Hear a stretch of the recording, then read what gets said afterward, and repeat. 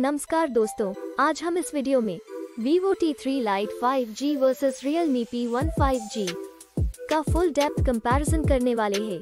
इसके अलावा इसी कीमत में आने वाले दूसरे स्मार्टफ़ोन की जानकारी भी आपको वीडियो के लास्ट में देंगे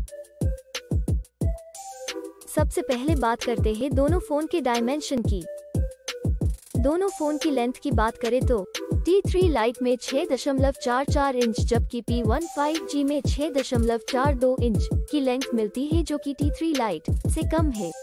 विथ की बात करें तो T3 Lite में 2.98 इंच, जबकि P1 5G में 2.97 इंच की विथ मिलती है, जो कि सेम जैसी ही है। बात करें थिकनेस की तो T3 Lite में शून्य दशमलव तीन तीन इंच, जबकि P1 5G में शून्य दशमलव तीन एक इंच की थिकनेस मिलती है। अब बात करते हैं वेट की तो।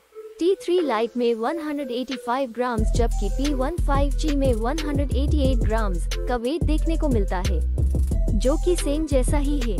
चलिए, अब हम डिस्प्ले की तुलना करते हैं।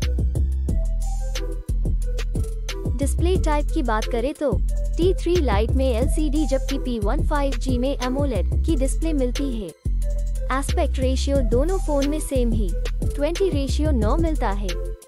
डिस्प्ले साइज़ की बात करें तो T3 Lite में 6.56 इंचेस जबकि P1 5G में 6.67 इंचेस मिलती है।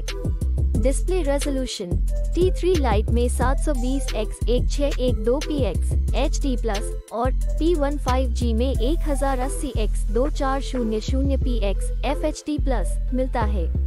Screen to body ratio T3 lite में चौरासी दशमलव शून्य एक प्रतिशत जबकि P1 5G में सतासी दशमलव तीन छह प्रतिशत मिलता है। बात करें PPI डेंसिटी की तो T3 लाइट में दो सौ उनहत्तर पिक्सल प्रति इंच जबकि P1 5G में तीन सौ पचानवे पिक्सल प्रति इंच मिलती है। अब देखते हैं डिस्प्ले के अन्य फीचर्स यानी विशेषताएँ की जो कि मोबाइल फ़ोन का महत्वपूर्ण हिस्सा है।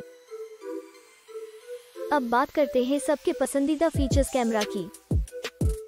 दोस्तों, सबसे पहले बात करें मेन कैमरा की तो T3 लाइट में दो कैमरा देखने को मिलता है, जिसमें कि प्राइमरी कैमरा और आखिर में डेप्थ कैमरा देखने को मिलता है।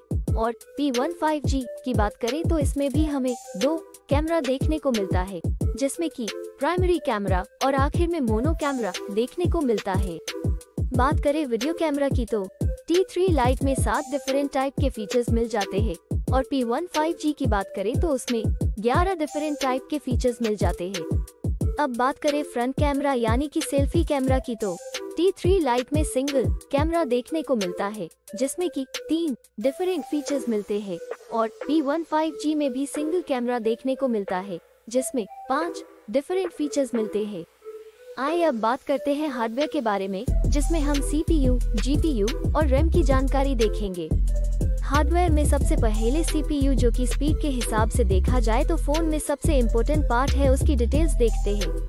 GPU की बात करें तो T3 Lite में माली G57 MC2 जबकि P1 5G में माली G68 MC4 मिलता है। चिपसेट की बात करें तो T3 Lite में MediaTek Dimensity 6300 और P1 5G में MediaTek Dimensity 7050 मिलता है। बात करें रैम की तो T3 Lite में टू ऑप्शन देखने को मिलता है, जिसमें चार गीगाबाइट छह गीगाबाइट की रैम मिलती है, जबकि P1 5G में टू ऑप्शन देखने को मिलता है, जिसमें छह गीगाबाइट आठ गीगाबाइट रैम मिल जाती है।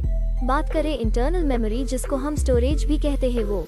T3 Lite में 128 गीगाबाइट की स्टोरेज मिलती है, जबकि P1 5G में दो विकल्प देखने को मिलता है, जिसमें 128 गीगाबाइट 256 गीगाबाइट स्टोरेज मिल जाती है। एक्सपैंडेबल मेमोरी दोनों फ़ोन में अप टू वन टेराबाइट है। ऑपरेटिंग सिस्टम दोनों फ़ोन में एंड्रॉइड V14 देखने को मिलती है। बैटरी की बात करें तो दोनों फ़ोन में 5000 हज़ार देखने को मिलती है। आइए अब मेन फीचर को देखते हैं।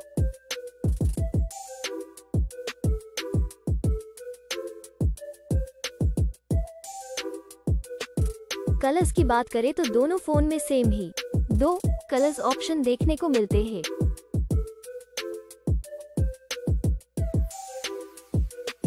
सब इन्फॉर्मेशन देखने के बाद बात करें प्राइस की तो। T3 लाइट में दो वेरिएंट देखने को मिलते हैं। जो कि 4 गीगाबाइट रैम 128 गीगाबाइट स्टोरेज के साथ बारह हज़ार नौ सौ अट्ठानवे रूपीज छह गीगाबाइट रैम 128 गीगाबाइट स्टोरेज के साथ ग्यारह हज़ार चार सौ निन्यानवे रूपीज में मिल जाता है। वही अगर बात करें पी वन फाइव जी की तो उसमें तीन वेरिएंट देखने को मिलते हैं, जो कि छह गीगाबाइट रैम 128 गीगाबाइट स्टोरेज के साथ पंद्रह हज़ार नौ सौ निन्यानवे रूपीज आठ गीगाबाइट रैम 128 गीगाबाइट स्टोरेज के साथ सोलह हज़ार नौ सौ निन्यानवे रूपीज आठ गीगा गीगाबाइट रैम, दो सौ छप्पन गीगाबाइट स्टोरेज के साथ अठारह हज़ार नौ सौ नवासी रूपीज में मिलते हैं। दोस्तों, अब बात करते हैं प्रॉन्स एंड कॉन्स, यानी कि फ़ायदे और नुकसान की तो। Vivo T three Lite five G में सात, फ़ायदे और आठ, नुकसान देखने को मिलता है। जबकि बात करें Realme P1 5G की तो उसमें सात फ़ायदे और सात नुकसान देखने को मिलता है। फाइनली बात करें है रिज़ल्ट की तो डिस्प्ले में P1 5G आगे है। मेन कैमरा में दोनों फ़ोन सेम ही है। फ्रंट सेल्फी कैमरा में दोनों फ़ोन सेम ही है। परफॉर्मेंस में P1 5G आगे है। दोस्तों, अब हम सेम प्राइस में आने वाले दूसरे फ़ोन को भी देख लेते हैं। पहले कॉम्पिटिटर फ़ोन की बात करें तो उसमें नथिंग फ़ोन 2a 5G है, दूसरा Realme 12 5G है, तीसरा Samsung Galaxy M14 4G है और लास्ट कॉम्पिटिटर फ़ोन की बात करें तो उसमें Motorola 50 Fusion 5G है। और ये सारे फ़ोन की डिटेल्स आपको डिस्क्रिप्शन में मिल जाएगी। प्रिय दोस्तों, अगर यह वीडियो आपको अच्छा लगा हो तो कृपया इसे लाइक शेयर और सब्सक्राइब करना न भूलें।